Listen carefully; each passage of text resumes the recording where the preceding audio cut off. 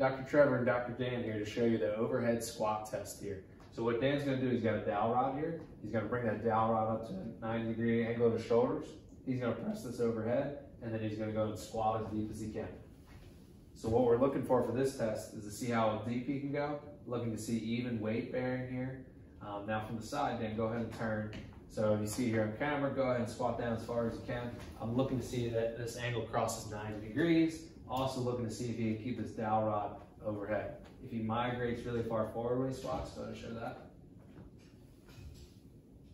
So you can see the difference in the angle of the bar there. This is one of our tests to assess, don't guess when we're building a golf fitness program with any one of our clients. Thanks.